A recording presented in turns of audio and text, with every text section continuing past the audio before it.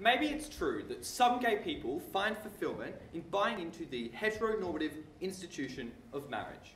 But that will always be a minority of that community. It'll be those who are in stable, committed, and monogamous relationships. It'll be those who have economic stability, and it'll be those who didn't feel so rejected by society from birth um, that they were happy to buy into the institution that was a flagship of, the, of that community's oppression for the last thousand, uh, for the last hundreds of years. We're not saying that in a perfect world this wouldn't be a good idea, but we think that in the context in which it causes attempts to repeal oppressive laws, uh, to, to, to deconstruct homophobic narratives, and to liberate generations of people, like who feel their basic identity is filthy and wrong, when it fails to do those things, by contrast, we think in that world, marriage equality should be a priority that is far down the list. But even if queer people should integrate, they would never be able to change that institution of marriage. Why? That's because it's historically tied, no thank you, to the perception of a nuclear family, right? We know that like it's taken us over a century to break down the perception that women are domestic house slaves. No thank you, and we still haven't fully done it. If that was ever reclaimed, it would have taken centuries, and those centuries of political capital and etc. No thank you could have been used elsewhere. But secondly, we by nature think that it's centered around things that the gay community either can't have or they don't want. We think that's things like uh, being able to be an individual family unit that's accepted by the rest of society. We think that when they're not accepted, they can't change that. But we also think it's hard to deconstruct narratives about children, which by the sheer nature of genetics, gay people can't have, and it's not easy to just say that they can adopt, because that is something that they often don't want to do because they have no genetic relationship, those kids, or at least one parent doesn't. What do we support on this side of the house? We think, in terms of the freedom supposedly that's achieved by this, we think the political capital expended is far more than that. No, thank you. We think that it's a waste. We think it's detracted from a few priorities. Four things. Firstly, like fighting homophobic narratives. That's things that happen in the streets. That's things that happen in workplace places. We think, secondly, the attempts to, uh, to repeal actively oppressive laws. For examples, firstly, adoption, where gay people can't adopt in Queensland. Secondly, gay panic laws, no thank you, where you can literally kill in Queensland in South Australia someone on suspicion of hitting on you. But thirdly, not being able to donate blood all throughout Australia. Fourthly, the fact that the age of consent for sodomy in Queensland for gay people is two years above normal. But thirdly, education for gay youth, right? We think things like active safe ed, safe, safe ed things like safe schools, counselling of uh, like teen gay people who come out, no thank you. But fourthly, we think persecution in other countries, places like Uganda, places like Saudi Arabia, where people literally receive the death penalty for being gay. Two questions in substantive. Firstly, why is this a colonisation of heteronormative institutions which is bad for the queer community? And secondly, why does this actively, no thank you, undermine attempts to emancipate the queer community? On the first of these, why, like, this is not a good goal for uh, uh, the gay movement? The first thing we'll note here is that ma like marriage will always be a system of a heteronormative society. Why is that? Firstly, no thank you, because it valorizes characteristics which began in the heterosexual community. We think things like monog monogamy are good examples of this. Clearly, not all, like it's not that no gay people want to be monogamous, but one of the most freeing parts of this like movement was being able to be promiscuous and re reject oppression. That's important because it acknowledges a split between that movement. And what it does is it doesn't necessarily help those, no thank you, who, want, who don't want to be monogamous, so they can do that anyway. We think it traps those who do in this movement. But secondly, we think it's always going to be a tool of patriarchal oppression. We give the example of women being uh, like oppressed because they could have no consent. We say that even now, women are coerced into marriage by society, and I'll take you in a second, and they like, like that institution is one that's used for domestic violence, etc. And we think that women like still have to do domestic labour for no pay. We think that's terrible, but on why that's specifically important to this first, Tristan. The reason why homophobia exists is because at its root, people are able to look at that relationship and say that it is illegitimate. Do you think that is easier or harder to do when the state itself is refusing to acknowledge the legitimacy of that relationship? We just don't think that's true, right? We don't think people like base their opinions. We think that like right now, like 72% of Australians think that that's symbolically a legitimate thing, but they don't like the way that it affects them. I'm about to tell you my second point, why you make that so much worse under your side of the house. No, thank you. But secondly, we think that like some patri- like in the patriarchy has kept gay men closeted for so many years. When they can't, cannot, like they should always reject that narrative. They should never try and integrate into it. But on to the most important issue in this debate, my second point of substantive, what actively prevents the emancipation of the queer community. Firstly, no thank you, we point out that literally nothing has been achieved within the gay marriage community or it's extremely small. We say that every way you look, very little has been achieved. We say even when you look at places like the US where they've made unconstitutional to ban gay marriage, we think that took very little effort. It didn't require the huge amounts of social capital, no thank you, which we think they need. We think in other nations, like legislative changes have been incredibly slow. We think in Australia, it's taken us a decade to get a party which is willing to hold a conscience vote. That, like, that took us eight years. No, thank you. But we think that even now we still have a non-binding plebiscite, which is trying to determine what we already know 70%, 72% of Australians want. But why does this goal itself achieve very little, even if it was like quite successful? We think because it brings limited benefits to only a few, right? As I flagged in my introduction, no thank you. It's to the people who are like economically stable, it's to the people who weren't rejected by society from birth. It's rich white men, Madam Speaker.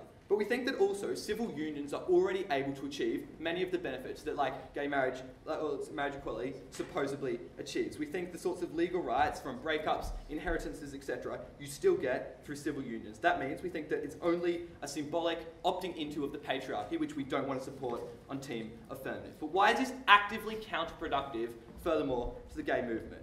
Firstly, like this is so important, and I'll take you in a second, because we think it is mutually exclusive to other concessions that that movement can get. Firstly, we think that's because of political capital and specific types of it. Sure. It's true that 70% of the country currently gets around homosexual, uh, around the homosexual community. Do you think that that was happening before the fight for marriage equality, or do you think that that fight actually galvanised everyday members of society to ally with the movement? No, we think we could have got it in the ways that we suggest under our side of the house. We think we could have got it even quicker, but we think that that 72% would actually be converted into change, not just conscience votes that don't do anything. But on this like political capital right, it means you lose things like lobbying powers. It means you lose things like lawyers and court challenges. Like that's really problematic. But secondly, it loses so much, no thank you, because it strikes at the centre of what like conservatives want. Their family, Mr. Speaker, and their idea of their family, and secondly, their freedom to practice their religion. But we think that it also mobilises those conservatives and it also mobilises the people who are typically on the middle ground, right? So 72% of Australians who may have been sympathetic to like same-sex marriage, but also like because when those things of like family and religion bring it in, they like like go against it everywhere else. We think that means that they would have otherwise opposed things like shelters for gay people, like safe schools, means they don't under their side of the house. But secondly, the focus has allowed opponents to double down into other areas, things like safe schools, uh, Madam Speaker, which was effectively a policy that was repealed, which gave counselling to gay kids kicked out of their house by their parents. But the third thing we say in this point is that their side of the house leads to a massive culture of slacktivism, right? It allows you to just change your DP on Facebook and think you've done something for the movement. That means that you have far less ability to campaign for change in the future, right? The second example that we give that, other than changing your DP, is the commercialisation of? We think that's really, really problematic because it stops you from being able to get further concessions and further gains for that gay movement in the future. Because we were the team who recognised that it wasn't a good goal for the queer movement to buy into heteronormative cultures of marriage, and because it made the, their fight for other concessions, like repeat, like having safe schools and education for kids, and like stopping gay people from being beaten up on the streets, we were so proud to propose.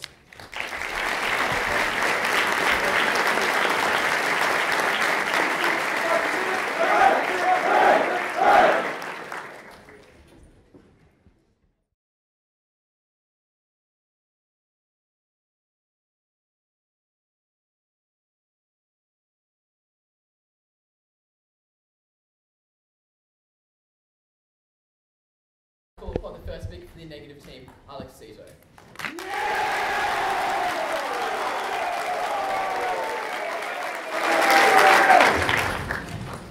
all the goals in which the affirmative team wanted to achieve, such as safe schools, such as like less discrimination, could not be achieved through marriage, like without marriage equality. Here is why, ladies and gentlemen. To make it very, very clear to you all, when you want to progress a movement, you need the movement to be accepted by the wider community. You need a movement to be like embraced by people such that it's normalized in their undercurrent through their structures, right? You cannot radically join a movement and radically promote something without buying into the, like the ideology to an extent to promote it. Because you cannot like promote the ideas of like anti-discrimination without having like an like a negative term to understand like what marriage like what constitutes a gay person, and this comes when you have marriage equality, something which is relatable for most of society, and something which is able to like get the straight people around the gay community, and subsequently allow for more progression.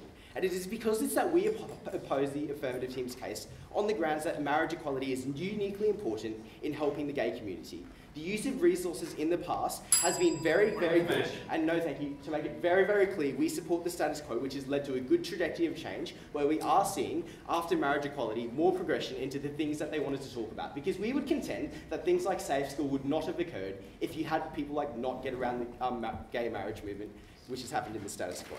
So tonight I have two issues of rebuttal. No, thank you. Firstly, whether or not like the trajectory you have to buy into, like the trajectory is contingent on you buying into the patriarchal norms. And secondly, whether or not like their comparative is actually like, um, like independent or like Point no, no, thank you, not dependent on our marriage equality. So onto this first issue of rebuttal, which is basically pertaining to the idea of whether or not trajectory is achieved when you buy into the system. So the opposition, no, thank you, would like would have you believe that like gay uh, gay people didn't buy into marriage, right? We would firstly disagree with this because we think that gay people do value the idea of marriage because of the fact that they think it's very sacred. They think it's the idea of committing to your life. This is inherently patriarchal. This is no thank you. This is like something that's really important because like homosexuality is defined with your relationship with respect to another person. And we think that marriage is a very, very normal way to do this. This is really good. Secondly, we redefine the binary of marriage through like creating this marriage equality because like you are literally like stopping like marriage from being defined in terms of like a male and a female in a relationship. No thank you, and other things. So, no thank you. So we create a new marriage of like new meaning of marriage and therefore stop the patriarchal like co- construction of marriage and subsequently we fix the structure. So um, onto the idea that like um, the opposition's talked about about how marriage is centered around certain things. We think that in order to deconstruct such norms, you need to firstly like work your way into the, like how the system's functioning. That is to have marriage equality. No, thank you. Therefore, to achieve things like safe schools, because we think that safe schools is like less valid unless you have like something to ground it upon, which is like something that straight people can relate to, which is marriage equality. So therefore, um, and to quickly address their idea of, no thank you, of civil unions, they come from the push of marriage equality. It was a compromise. And even then, civil unions aren't as fulfilling as marriages. They're really, really like, like less fulfilling to marriages such that like it isn't about like a commitment to your life. And we think that this is a really important thing that gay people wanted, and this is a really important thing that they denied, and we think this is absolutely abhorrent. So quickly onto the idea of Uganda and how like Uganda, no that you, will still continually oppress people. We think that when you provide a clear stance on where the state stands in marriage equality, or like the gay movement, which is to empower gay people, we think that this leads to less hypocrisy within like the ideas of where Western democracies stand, and therefore they're able to push these like less hypocritical opinions and sound more valid in front of the nations like Uganda about oppression. This is really important. This is what we achieve. This is really good. So just quickly onto this second issue of rebuttal, which is like whether or not their goal is attainable without marriage equality. So basically, like they were fighting, fighting for like, um, like their comparative like fights for like safe schools and all these other things. But no, thank you. We think that firstly, um, gay marriage like was the most important thing. This is why this movement fought for it in the first place. Secondly, their goals are very unattainable without this marriage equality, as I'll explain in my substantive. No, thank you. And thirdly, your goals are more valid and more like relatable through marriage equality. And um, now I'm going to move on to my points as a substantive. Firstly, why marriage equality is the most important goal for the gay community. Um, so firstly, um, Point of information. being, and I'll take you, Cal. Marriage equality has a unique power to mobilise conservatives, but also push moderates towards those ideas because it attacks the conceptions of family and religious practices. Are you happy and do you think it's a good use of the gay community's resources to mobilise opposition that makes all change in the future so much harder? Okay, so we think that marriage equality does lead to good change because you were literally like redefining the structure. You were literally like helping marriage equality. And I'll deal with this later, but for, like back onto my substantive, being like lesbian or gay by promoting marriage equality. No, thank you. The state is like formalizing, formally recognizing who you are as an identity because we think homosexuality is defined by your relationships with another person. Therefore, like the most important part is when the state like formally recognizes this through like ideas of marriage equality because this is like about the bond between another person. This is really important. No, thank you. To deny this, you are literally denying gay people their identity, and your comparative does not solve solve this important part. In fact, it like does not deal with the issues of homosexuality. Um, really important. So, secondly, as a consequence of this, you are like seen under our um, under our world as like an equal by broader society. No, thank you. This is important because like people follow the lead of the state. People base their ideals by the state. Therefore, like you're engaging more people when you like normalize the perception of homosexuality through things like marriage equality. So the state legitimately recognises you as a person, and you're like, no, thank you, stopping like the ambiguity and hypocrisy within the states, who like might support marriage equality but support civil unions under their side. So therefore, when we have a unified stance that is to like empower gay people, then that means that people are legitimately able to get around the state's ideals and be- better like able to embrace the gay community. So marriage equality, thirdly, affects like the majority of people in the gay community. So they're all subject to marriage. Not all of them are necessarily subject to bullying. This means that this policy will like help on net the most people. Fourthly, like the benefits of marriage, as I've already mentioned, are like they make you feel happy. They make you feel like the right to like commit to your life to someone. This is really, really important. You deny this right to people, and also no, thank you. Um, we like there's all these other benefits to marriage, like such as like like tax What benefits and all these other things. No, thank you. Fifthly, like in this point, the most homophobic discourse comes from like religious institutions. Therefore, like this policy delineates, no thank you, delineate, delineates the state from religion, such that this policy shows how the state recognises how the like religion shouldn't necessarily dominate how you perceive sexual identity. It, no, no, thank you. It inherently makes like like the state like less biased and less secular. Um, Point more secular. This is really important. Um, and I'll take you, Xavier. Do you honestly believe that progressives who rally in support of gay marriage wouldn't also rally in support of bullying programs for gay youth? Um, okay, so we think that like by having marriage equality, as I'll get to get into on our second point, we think that by having this marriage equality, you're able to ground discussion and ground discourse, and therefore like able to perpetuate um, marriage discussion. I'll get onto this soon. So at the end of this point, basically like people, the gay people wanted marriage equality, and this led to better outcomes. So quickly onto se- um, the second point is substantive: why marriage equality garnered the greatest benefits for the gay community. So we think that like an unwasteful use of resources is defined as like um, as something that's attainable leads to positive outcomes. This is really important. So the success of the marriage equality movement is really like overwhelming at the moment. So basically, like tons of nations endorse this. Straight people have gotten around the idea of marriage equality because like you provide this clear goal for gays. It's less abstract as like a no bullying law. Um, it's something that like um, straight people are able to emphasize, empathize with, and this is really important. So we provide, we provide a relatable reference point for individuals to perceive what homosexuality is. This is really important. They didn't fix this. Um, and essentially, like, basically this clear, um, this clear goal for a fractional movement is really important because we acknowledge that homosexuals aren't a homogenous group, but when you have this clear goal, basically what happens is that, like, it's best for the perception and, like, to take a grounded approach, and this is really, really important.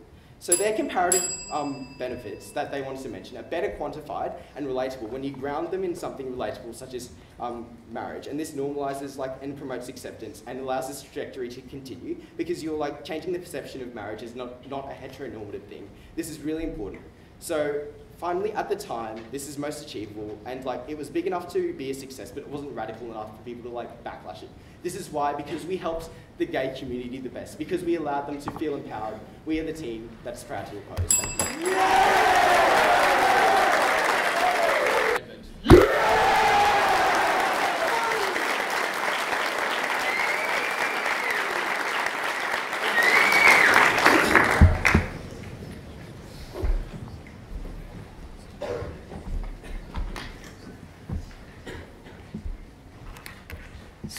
To buy this bizarre and undercooked claim that gay marriage was somehow the first step in a trajectory for the emancipation of the queer community, what the negative team had to do was point to something that was unique about the fight for gay marriage and the narratives of queer emancipation that it prioritised that couldn't just the same be applied to all the things we supported. Because in the same way that advocating for gay marriage allowed the gay lobby to say things like, we are just the same as everyone else, or we deserve the same rights as everyone else, advocating for the same age of consent for homosexual sex could you allow you to do those exact same narratives. There was nothing unique about gay marriage as a tool of reform, but even to the extent there was, that was a tool that always oppressed more gay people. That was extended to a degree of ludicrosity by this negative team because they literally claimed that the reason that Somalia executes gay people is because there's marriage equality hasn't been legislated enough in the world. I don't think it's important. I think it's quite important to note here the ridiculousness of the claim that moderates in Somalia or gay activists in Somalia are just waiting out for Australia to legislate marriage equality such that they can stop the oppression of their government. That's ludicrous. Two questions in rebuttal.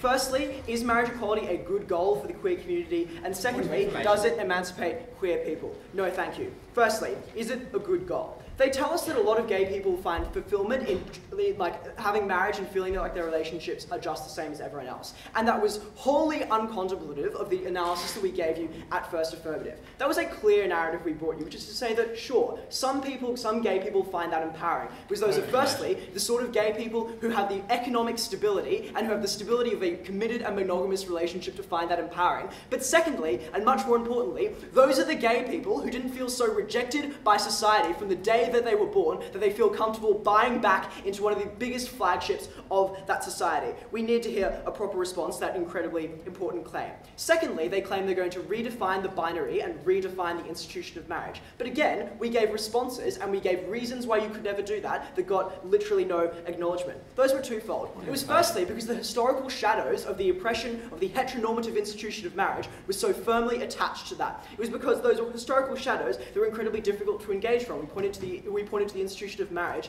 as in terms of an enslavement of women. But secondly, marriage was predicated on some things that the gay community could never really access or probably never really wanted to access. And that was things like being accepted by the rest of society, but also the ability to have children who were genetically your own. Thirdly, has this movement even worked? And this was probably one of the more in questions in this debate, because even to the extent that we conceded there was a goal that should be prioritised, they didn't actually get it for the reasons they said. We heard the assertion that there have been lots of countries that have legislated gay marriage, but again, we gave responses to this in substantive. Those were countries that either legislated as a result of judicial activism, see the largest country in which gay marriage has been allowed, or secondly, those were result those were efforts that would always been stalled, as they had in Australia, by series of conscience votes and political foot dragging. Secondly, on the emancipation of the queer community. They make a bold and overarching claim here, which is to say that this says that queer relationships are legitimate. We have four key responses. No, thank you. Firstly, what a bizarre conception it is of queer rights that the origins of homophobia and the reason that gay people have been oppressed for centuries was because the government hadn't told them that their love was worthwhile. No, that's not what happens. The response of homophobic people, people who believe that those relationships will never be legitimate, is not to accept what the state tells them. That response is to say that the state is wrong, that the state doesn't understand those religious narratives, and to fight back aggressively against the state. And the only way they do that is fighting back aggressively at gay people themselves. That was horrific. But at best, that was social change that took place over centuries and over dozens of generations. Dozens of generations in which a small number of privileged gay men, largely, would benefit from the benefits, would accrue the benefits of being able to have marriage, whilst millions of queer youth died in fear and in terror because the government and their lobby that was meant to protect them had failed them. But also, every benefit they tried to claim as a result of the gay lobby and the fight for marriage equality was a lie. Because when they pointed to safe schools, that was the program that had been repealed because people thought it was assaulting their idea of their identity. That was our entire case. Secondly, we told you that it was mutually exclusive to other benefits. And this was so important because this is why this is why you couldn't have both safe schools and marriage equality. Every response they gave was literally entirely contingent on proving the, on the thing that I just disproved, which was proving that gay marriage like uh, deconstructs those oppressive narratives. In the dying seconds of Alex's speech, we hear that it's a less abstract goal. We don't see any reason why the goal that gay people should be allowed to be married is a less abstract goal than the gay people, the right that gay people don't deserve to be killed in their schools. Two questions in substantive. Firstly, why the lobby contributes to, it, to the hegemony of a narrative of integration, and mm. secondly, why it severs critical ties with the feminist movement. Before I do, Joe. For the black civil rights movement, desegregation was an important precursor to other reforms because it acknowledged their equality under the eyes of the law. Why is this not also true for the gay community and marriage equality? Because when you desegregate schools, it means that black people aren't actively oppressed by having to go to worse schools. When you create marriage equality, it means a small number of gay people get to access a small margin of self actualization. That's our entire case. Firstly, on the hegemony of the narrative of integration. We don't make any judgment about which of the embryonic and diverse narratives exist within the gay community. That's narratives like saying they need to be integrated with the heterosexual community to become a part of broader society, or saying that they need to reject that society and construct a set of values that mean have meaning to them on their own terms. But we do say that the narrative of integration has been prioritized for the wrong reasons. And that's because it's the narrative that privileged, white, gay, attractive men find compelling and find applies to them. Why is that narrative necessarily exclusive? Firstly, it requires you to feel like you can integrate with the heterosexual community. Because for some gay people, the idea of a stable family is empowering to them. But the idea of a stable family isn't empowering when that stable family was the one that kicked you out of your house for being gay. You can never integrate with that community, that's why that narrative is exclusive. But secondly, as we've already elaborated on, it's predicated on the absence, on the presence of material wealth. Because you're not capable, no thank you, of being held ransom from those heteronormative narratives when you are poor. And thirdly, it's predicated on narratives of aestheticism. It's predicated on the narrative that you have to have a nice wedding, that you have to look pretty and attractive at your wedding. And that's the exact kind of narrative that attractive gay men in the queer community capitalize on to exclude people like trans women who haven't transitioned yet. That's the exact kind of narrative that already excludes those people. They make it so much worse. But secondly, why does the, why does the aggressive prioritisation, I'll take you in a moment, of gay marriage sever critical ties with the feminist movement? Sure. What do you do for gay men in a stable monogamous relationship that aren't discriminated in the workplace for whom this is the most important thing they want? So, firstly, we mean that the gay men of the future probably aren't going to grow up with incredibly pernicious conceptions of themselves because they weren't bullied at school as a result of our programs. But let's note that literally every benefit they could provide after we eliminated civil unions was the benefits purely of integration into a heteronormative institution. Because insofar as they wanted to make this case about legal rights, gay people already had those exact same legal rights under our side of the house. The difference was whether we prioritized a narrative of integration or a narrative of exclusivity, and that was where we won that question. So, secondly, critical ties with the feminist movement. How does this alienate the feminist movement? Firstly, the feminist movement often doesn't like marriage, but secondly, they feel betrayed because the people they thought were in solidarity with them against the oppression of the patriarchy are now the people who are buying into those exact same patriarchal narratives. That means the gay movement loses some of their most critical allies. They're critical because they have enormous amount of political capital, but secondly, because they're the people who understand what it feels like to be oppressed by white, straight, gay men. That also makes gay women feel conflicted because they feel like they have to choose the oppression that they feel applies to them the most. We think that's incredibly pernicious. In an ideal world, maybe gay marriage was a goal that we thought the gay community should prioritise, or a thing that would be good to happen in the world. But this wasn't that world. This was a world in, in which the rich gay white men were able to prioritize that movement for their own ends, to find the empowerment that only ever applied to men. And that was political capital, let's be clear, that was stolen from the hands of the children who died hanging in their rooms with the word faggot still ringing in their ears. That was political capital that was so necessary and was wasted on this bizarre movement. So proud to propose.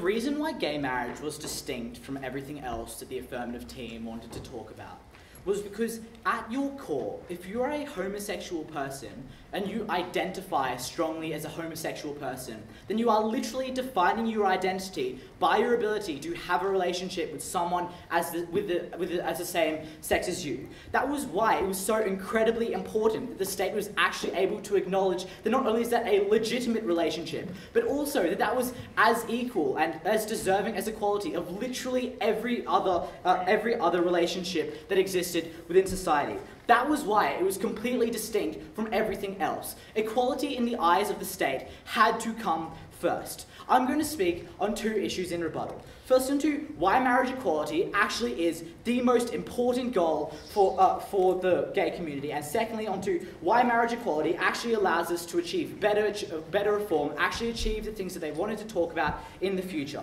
So, first issue, no thank you why marriage equality is in fact the absolute most important goal for the gay community. The, the first thing we told you that, as I pointed out in my introduction, it is necessary for you to self-actualize through your relationship with members of the same sex. The best way for you to actually do that is if the state is willing to recognize the legitimacy and, equal, uh, and equality of that relationship. They told us that it was only rich white people that were willing to, that actually had interest in putting forth marriage equality. We have three responses. First off, that is just absurd. The last time I checked, in general society, the only people getting married are not rich white people. Lots of people want to get married. That, that assertion did not stand. The second thing we'd say was that even if there are people who don't feel as though they are in a stable relationship at the moment, everyone has hoped that at some point in the future they will be in a relationship that is stable enough for them to actually want marriage equality. That was why lots of people got on board because they hoped that in the future that would be something that they would be able to access. But finally, because even if it is true that this narrative that was one that was dominated by the rich white people because they had the resources to take away discourse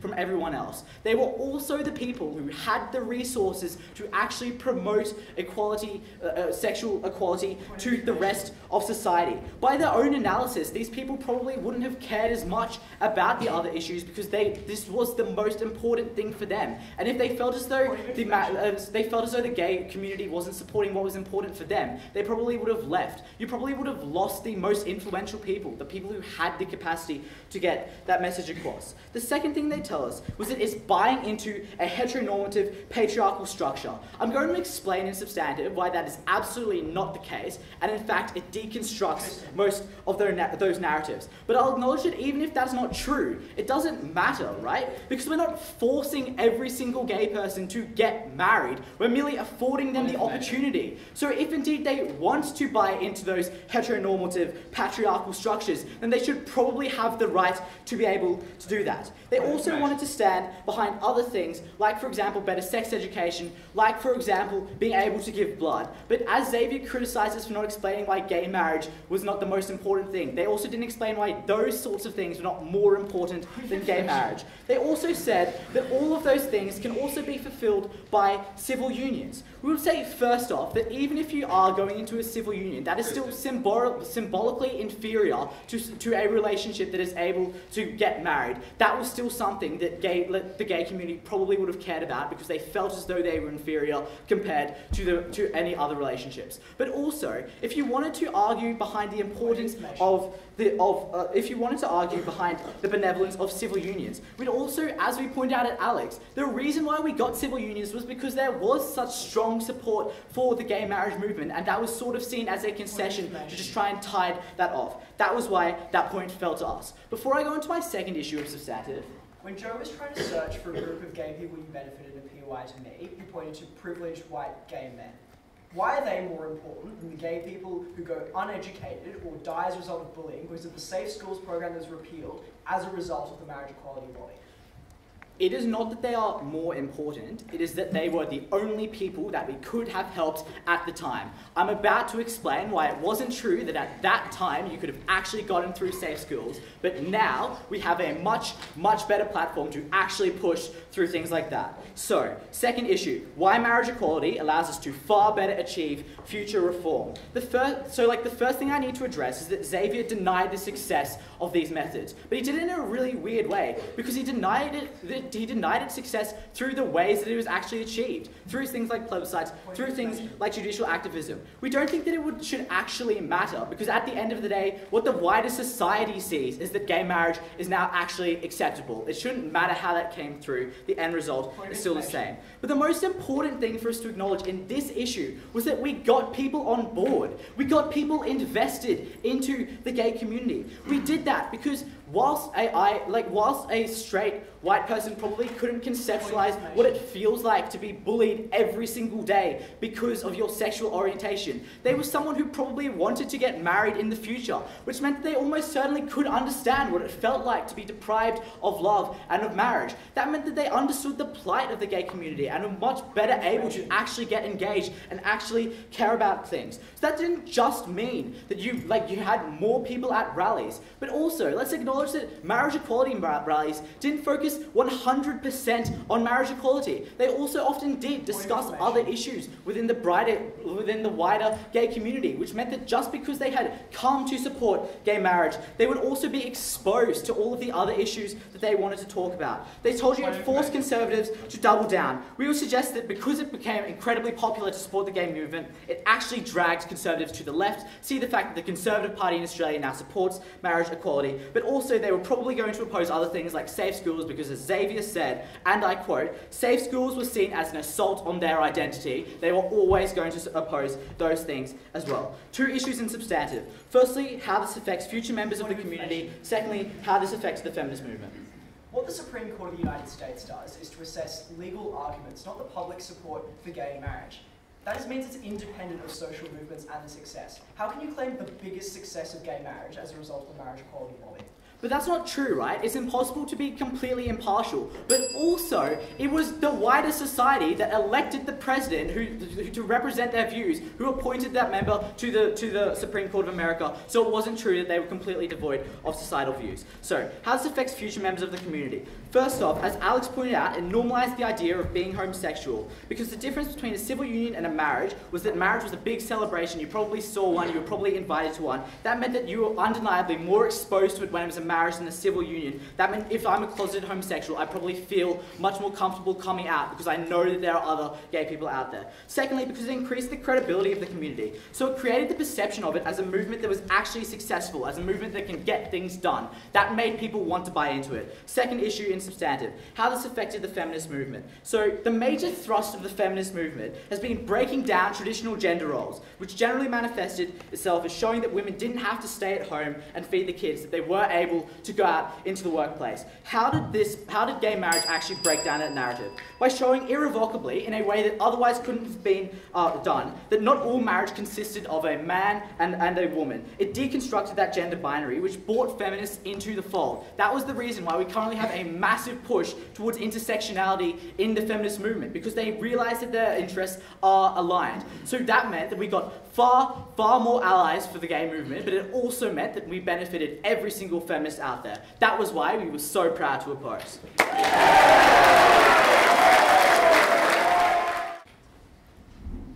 Speaker, it was oh so strange that the negative side of this House wanted to say that if you are a gay individual, the only way you can self actualize is if you know that in the future you'll somehow be able to marry.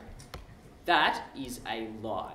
Self actualization comes from knowing that you feel safe to be able to come out in school, and that you know that if you choose to do that, you won't be bullied to the point where you feel like completely opting out of society, feel like opting out of life because that society doesn't value uh, value you as who you are. You have the capacity to self actualize when the state allows you to adopt a child and to recognize the fact that you, as a gay individual, can look after a child in the exact same way anyone else can is when the state says that you don't have different ages of consent when it comes to sexual intercourse with your partners because you are no different. It was so wrong for them to say that the only way to do that was to allow them to marry. No, thank you, because the problem was is that all these benefits were oh so much important because they were what drastically impacted the lives of these individuals, and every single one of them was mutually exclusive to the massive waste of resources that went into gay marriage. And Tristan said it all when he said, Oh, but we couldn't do those things at that time. The reason we could never achieve those goals was because the gay community wasn't willing to get behind them. Instead, it took the road of aggressively prioritising all its support for gay marriage. That meant there was no support behind those important issues like, like anti bullying campaigns. There was no support behind changing those intentionally oppressive laws. That is why the gay community failed itself when it went down that um, dark road of going after gay marriage at the sacrifice of everything else. Three issues in rebuttal. Firstly, is it a goal worth fighting for? Secondly, how does it benefit the movement? Thirdly, how it relates to feminism. On to this first point. They could never claim any practical benefits to gay marriage because those benefits already exist through the forms of civil unions. They had some weird push at us that like somehow if you guys you guys would never have had civil unions. What we tell you is that we should have the gay, gay movement should have stopped there because it was all that time that it spent after it achieved those practical outcomes, those legal changes that allowed gay people, no thank you, to have proper inheritance laws, to have proper divorce laws, that it was no longer important. Their entire principle relied solely on some sort of vague symbolism that comes from being allowed to marry.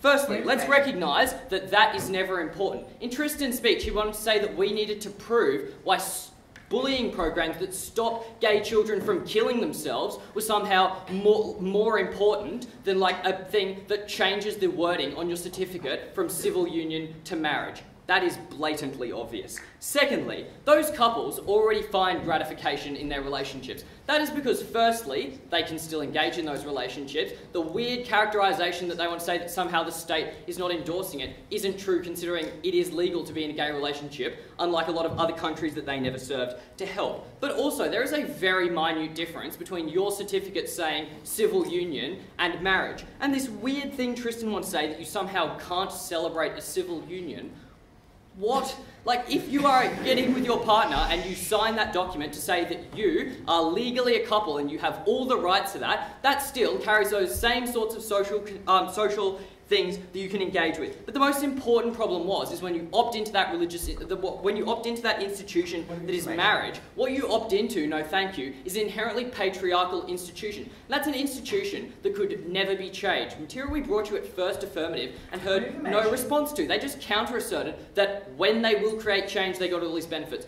No logic as to why they do that, apart from saying that somehow it's when you allow gay people to marry, that somehow changed it. What that ignored was the important material we told you about. Marriage is al always inherently linked to certain parts of that relationship, like having children, but also the history that means that even if they were able to change it, that change would happen over centuries. And that's, that change and putting all that effort, effort in all that, that time was something that was never important. Their last ditch attempt was to say that, they, that on net, their thing helps more people. That is just not true, considering the people in the gay community who are most likely to engage in this policy are the ones who are rich, are the ones who are white.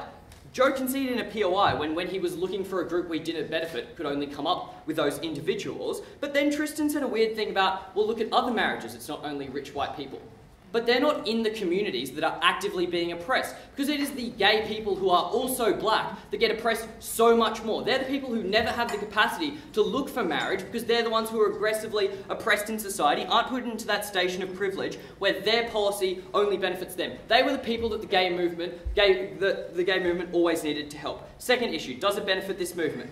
Let's recognise they haven't created change. I'll take one of you in a second. But Tristan lied when he told you about how the Supreme Court works, because let's recognise there hasn't been a Supreme Court nomination in a long period of time, and it didn't need public support because the Supreme Court doesn't operate on a public voting basis. But also, I never created any more public support before I explain. If the gay community should have stopped at the point at which they got civil unions, are you conceding that they should have prioritised gay marriage up until that point over everything else? No, because civil unions aren't gay marriage. They're different things, as I've already explained. But also, to the extent that that already happened, that is the point where they should have stopped. If that was always a priority, if gay people were being legally discriminated on the basis of inheritance and divorce, then potentially that is an issue you prioritise. When you no longer get those benefits because it's already been achieved from civil unions, you no longer need to further pursue that symbolic benefit when there are other things that are more important. So public support. That public support would have always existed. They had no explanation to this, apart from somehow you ground these policies, whatever that means. Firstly, you don't ground those policies, because a lot of people aren't married and they don't understand what that means to them. But also, let's recognise that a lot of other things people do understand is equally important. Like bullying, like the right to not be bashed in the street. That's something people get behind. I'll take you now. Is it worse to be bullied by a single person at your school, or for a whole government to tell you that your form of love is fundamentally illegitimate and you should be segregated to civil unions? That's not what happens. The government still tells you that your form of love is legitimate because you can engage in those sorts of things. But also, it's far, far worse because what you do and something you never respond to is when you push that into marriage. That's what mobilises all the opposition. Opposition that made it harder for any sort of positive change to occur in the future. They could never explain why a progressive who cares about gay marriage, no thank you, wouldn't care about gay people being, being bullied in schools. That meant that that sort of social benefit occurred under both sides of the house no matter what the gay movement was prioritising. Also, no responses to the fact that all the support they got was worsened in the future because it was turned into slacktivism, which made it far harder to actually engage in systems that required proper social capital to change. In regards to opposition, they to say people listen when the government tells them what to do. That is not what happened in the US when it came to gay marriage. What they believe is not that the government tells them what to do so they believe it. They believe that the government has told them something, the government has got it wrong and is not representing them. That means they opt out of those systems. That's the same logic as to why they somehow asserted that you change the Catholic Church. That is not what happened. The Catholic Church has doubled down on its policies. That Tristan made some weird assertion that that doubling down on safe schools would have happened anyway. No, that ignores the logic of what we told you. The fact is, when everyone is focusing on gay marriage, you give opposition the capacity to double down. You give them the capacity to become more aggressive on all those things that are important. That makes the lives of all the people who require those things far, far worse. Their lives are considerably worse off. All their material about future members of these communities was contingent. Thirdly, on feminism, this came out very, very late in the debate. Let's recognise that that also came with absolutely no response to our material. Our material is far more believable because large portions of the feminism movement actively oppose marriage as an institution. Reasons we all brought out and clearly explained. There, Tristan wants us it breaks down a gender binary, but the problem was is that binary still operated under a system that many feminists believe was actively oppressive to women. That means you lose all the intersectionality benefits because the feminist movement and the gay movement won't engage with them. Their lives are so much worse. We don't want to see that. Very proud to propose.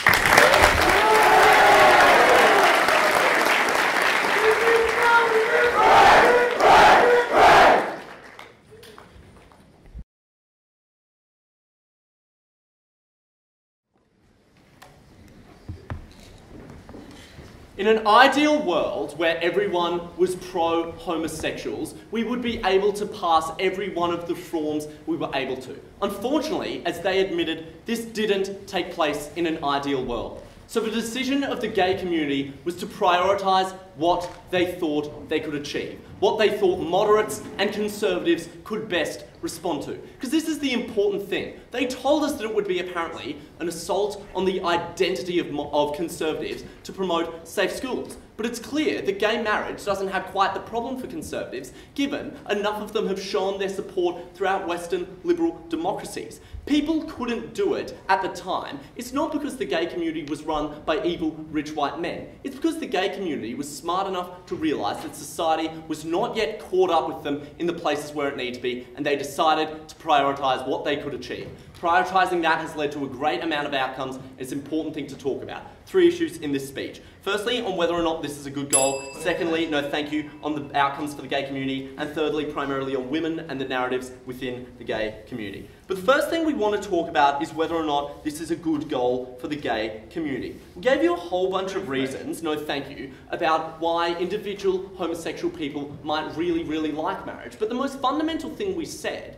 is that when your identity, identity as a homosexual person is predicated on your relationships to other homosexual people, the denial of the validity of that relationship is what was wrong with the government. No, thank you.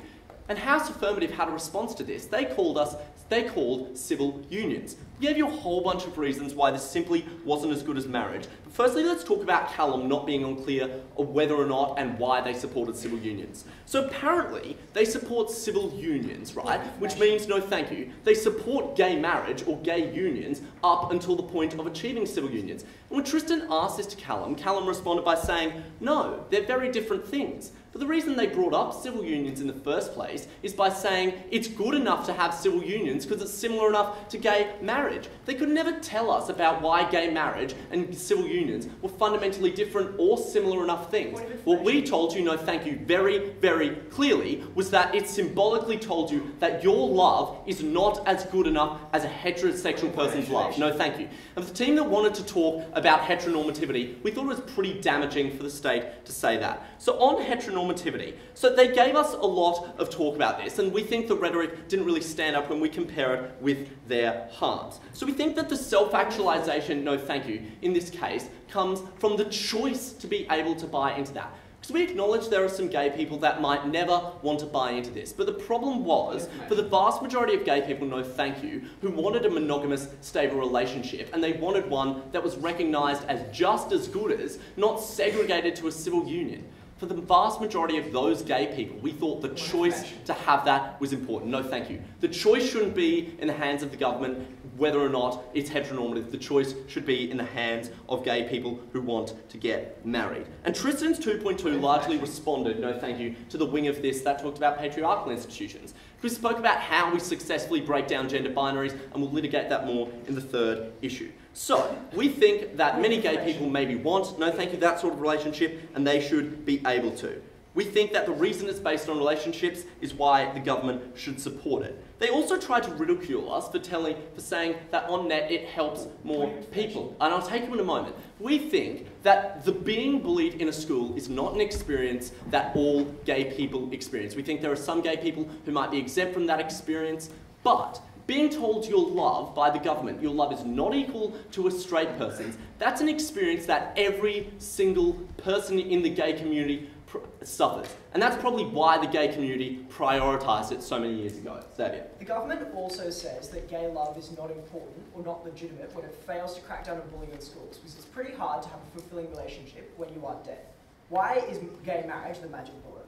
Okay, that's where all our pragmatic material comes into play, right? And that's why we think that it's not simply unique to things in school. Because we think that policies like safe schools, as they told us, are really divisive and they'll attack your identity. And we'll tell you more about this in this second issue. Secondly, on outcomes and their idea of it's counterproductive to the gay community. No, thank you. So what did we tell you from first? We told you very clearly that what we saw an unwasteful use of resources is, is something that was attainable, had positive outcomes, no thank you, and was most achievable at the time. Here's the most important thing between the two teams, is we very, very clearly drew the line at what is a waste of resources. Their myriad of attacks on whether or not it's counterproductive ignored the idea that we think if it did achieve good results, it is not a waste of resources. And the result built the foundation from which further gay rights can be achieved.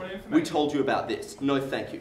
We told you that the success of marriage equality has been overwhelming. No, thank you. They tried to rebut this by saying it's not as many countries as we'd like, or it's not the way we'd like. But even if it's not as many countries or it's not the way you like, the fact is that marriage equality exists in the world. And the fact is that Josh told you that 72% of Australians support marriage equality. That comes from Australians seeing overseas nations and overseas governments endorsing marriage equality. They can also change perceptions in places like Uganda and places like Somalia.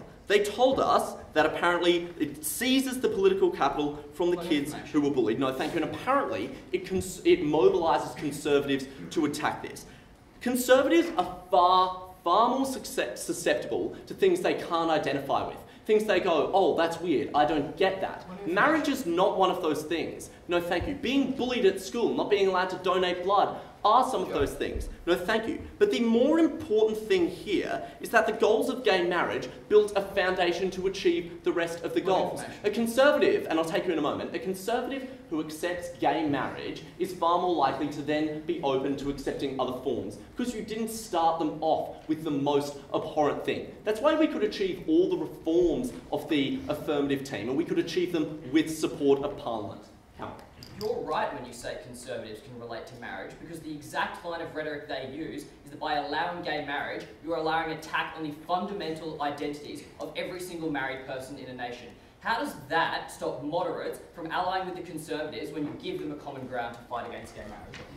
We think the common ground they're probably more going to respond to is I can never get married in my life, then my marriage is slightly devalued. If those are the alternative arguments proposed by the gay community and the conservatives, we think they'll favour that. But more importantly, we think that the conservatives, that's a large minority of them, and the large majority has been shown to support this. So they told us that a homophobic response doesn't endorse the government. We tell you that people will eventually follow the way the government goes. We made that very clear. The important question in this issue is what could we have actually done with our time? Because whilst it would have been great to spend all our resources on the policies they supported, they would never have been achieved. That's why their policies would have been a waste of resources and why we can achieve them now. On to this third issue about women. Tristan gave you a really well detailed point about why the major thrust of the feminist movement was about breaking down traditional gender roles. We think anything that breaks down a binary in marriage is good for women. Anything that says marriage isn't this black and white is good for women. We told you that. They told us that it alienates feminism and forces them to align in a particular way. We didn't think that was overly true given the vast majority of feminists will probably align with the gay community and marriage equality, as we've said, isn't an overly controversial opinion to have.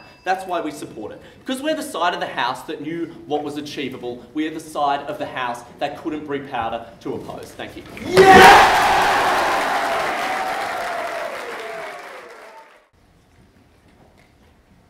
reason why marriage equality at the end of this debate had to come before literally every other thing that they wanted to talk about was because at the end of the day, if I identify as a homosexual, And as I pointed out at me, and as we heard, a startling lack of response to, I am literally defining my identity by my relationship with another sex. Even if the state is willing to acknowledge that to some extent through a civil union, the fact that it is willing to deny me the basic rights that are afford- afforded to essentially every other relationship still makes me feel as though my relationship is inferior, still makes me feel as though my identity is inferior, and that was something that affected pretty much every single homosexual, every single lesbian, whether they wanted to get married or not.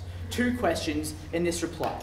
Firstly, why marriage equality is the most important goal for the gay community, and secondly, why this policy came, did this policy actually come at the consequence of other policies? On the first, why marriage equality is the most important thing. They told you that it was only in the interests of rich white people. I gave you two responses as to why that was absolutely not the case, two responses that are still standing at the end of this debate. Those were that most people probably want to get married, but even if I'm not in a stable relationship, I probably hope to be in that relationship at some point in the future, which means that marriage equality is still something that I want to fight for. What that all meant was that it wasn't true that only a minority of people actually wanted gay marriage. In fact, it was the vast majority of that community, which meant that it was something that they probably should have prioritized. But I also explained why, even if that wasn't the case, even if it was rich white people who were just commandeering that, co- that community for their own purposes, I told you that still was a good thing because actually got them in, on board in a way that they probably wouldn't have otherwise. It got all their resources behind that community when they wouldn't have if they if their interests weren't actually represented. That was something that we didn't hear a response to.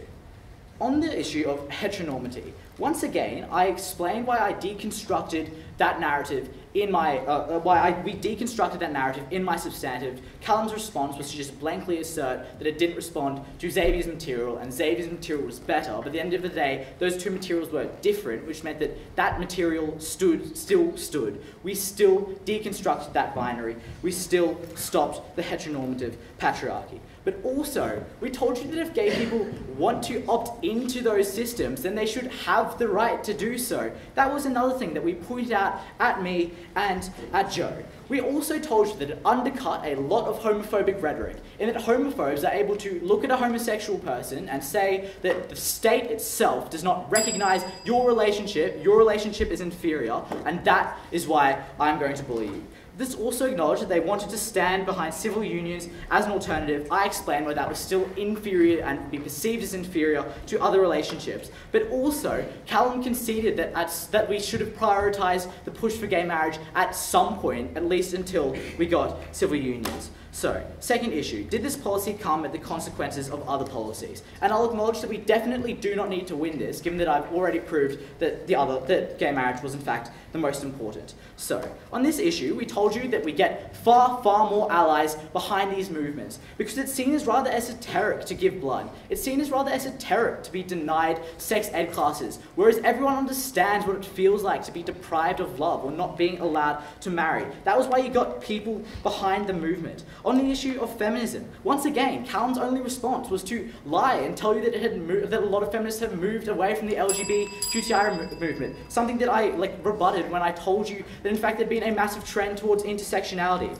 On conservatives doubling down, once again, that was just a lie, which didn't stand up in the fact that I brought, which is the LNP, Conservative Party gets behind gay marriage, and the fact that Joe brought, which was that the Catholic Church itself has started to be more lenient to homosexuals. At the end of the debate, what that meant was that our as a result of our policy, we had gotten literally millions and millions of more people to actually care about the LGBTQI community. That enabled us to actually get through the policies that they wanted to talk about in the future. That was why this debate fell to the negative team.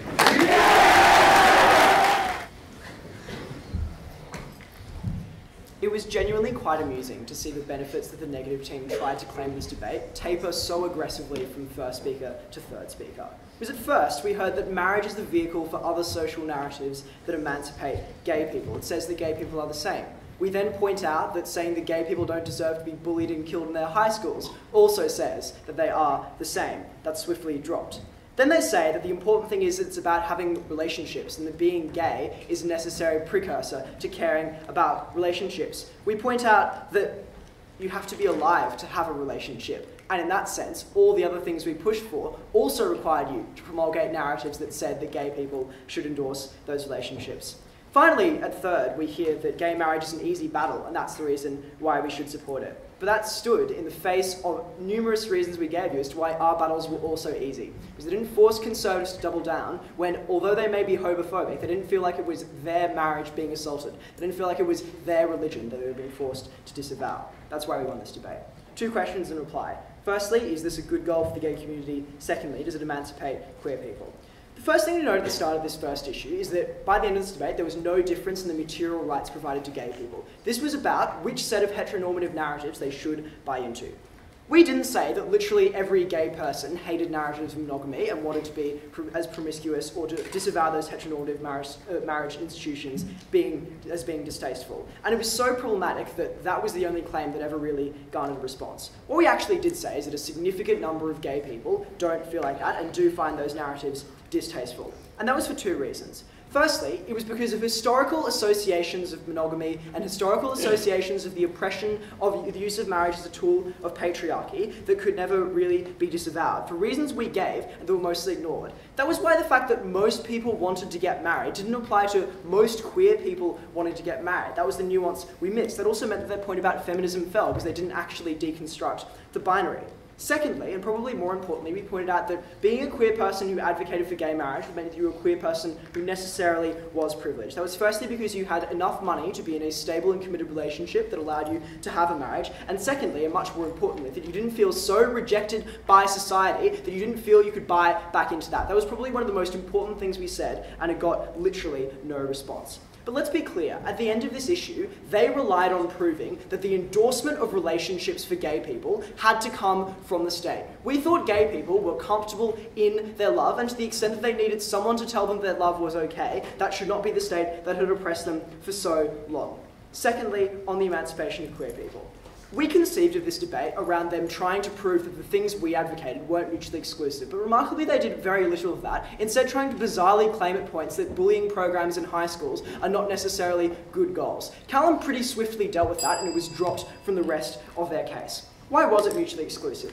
It was firstly because there was limited political capital for gay people to advocate for concessions from a government. It was secondly because this policy uniquely, gu- uniquely garnered conservative rhetoric in a way that things like bullying programs didn't do. Because you might be homophobic and you may want gay people to be bullied in schools, but that doesn't feel like an assault on your own marriage or assault on your own religion. That was why gay marriage had to be, have enormous benefits proved to justify that enormous garner of conservative rhetoric. We also point out that it contributed to the prevalence of slacktivism, which meant that every future concession for poor would be one that would be harder to get, that again got no response. So, did gay marriage actually achieve benefits? First, the first thing they do is lie about the fact that the LNP supports gay marriage and lie about the fact that the Catholic Church supports gay marriage. That didn't get them very far. All these benefits were largely dealt with my introduction when I pointed out that they were not they were not exclusive to a narrative and a prioritization of gay marriage. But let's note that they didn't even achieve gay marriage in the case. And every response they gave, like, oh, it doesn't matter because it was achieved in an imperfect way, didn't respond to the nuance we gave, which was the way in which it was achieved meant that it was not the gay rights lobby that achieved it. It was judges in the Supreme Court. It would have happened anyway. All the important material we gave you about the unfair homogenization of narratives of integration was literally ignored. Theirs was a gay community, and theirs was a case that was stuck in the narratives of a gay community that always prioritized what, what, what privileged white gay men found appealing and found empowering. We were so proud to support a queer lobby that didn't just prioritize those people's interests, but prioritized the interest of all queer people. And that was why we won this debate.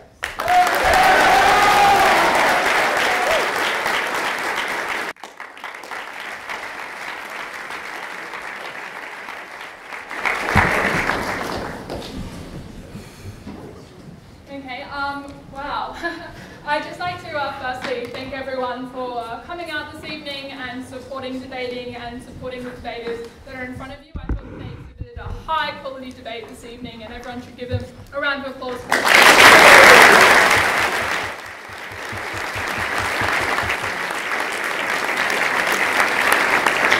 Uh, that said, my role as an adjudicator is to give the debate, and I believe I delivering the decision of this debate, but also I believe that this decision decides the premiership as well. So, with that suspense done, um, I would like to say that I've given the debate by a close but clear margin of 3.5 points to the affirmative team. Yeah!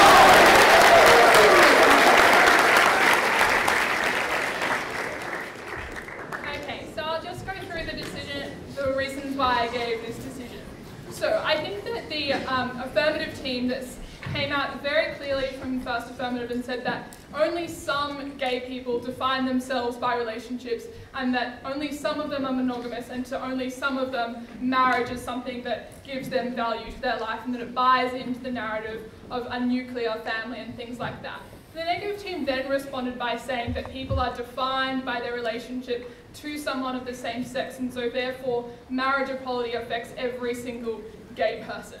To that, I, bought, I believed that belief. However, we then need to think about how this effect was actually going to affect people. I thought the affirmative team very cleverly said that civil unions deliver the same legal rights, and so therefore the only difference practically to gay people was a symbolic difference. I think the negative team argued effectively that the symbol says that that relationship is inferior. However, the affirmative team very well very, argued very well that fighting that symbolism comes at the cost of other things. I think it was in this, them proving that in which they were able to win the debate. Firstly, I think the affirmative team clearly proved that this creates more opposition to the LGBTIQ community. How? Because they said that what it means is when gay people change the way that other straight people define their marriage, that affects religions and that affects moderates and conservatives much more than bullying programs and things like that. And I think that the Affirm team was able to prove to me that you would be able to create more opposition than less if you had just pursued an anti-bullying program or things like that. The affirmative, the negative team did say that gay, that straight people can relate to marriage more. However, I thought it was for that reason that they were more likely to oppose gay marriage and marriage equality for that reason. So I thought the affirmative team on the first issue of the external harms. The second issue was whether or not the gay community could have pursued other targets instead, things like bullying campaigns, gay panic, youth suicide, etc. I think the negative team argued, but not very explicitly and not as clearly as they could have, that gay, you need gay marriage first before you can get other benefits. You said, for instance, Tristan said that you need the wealth of the um, gay, the privileged gay people in order to do this. However, the affirmative team really clearly said that pursuing gay marriage was not unique to pursuing other things in order to break down harmful narratives. For instance, the right for children to be in high school and not be bullied carries the same weight and narrative of them being all the same. So, because I believe that suicides and bullying and things like that were much worse for the gay community, affected a great number more people than the symbolic benefit to a privileged few, and this also caused more opposition to LGBTIQ rights, and it also brought into a harmful narrative. That is why I gave the debate to the affirmative team.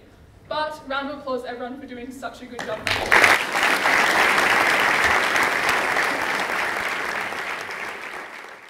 Ten,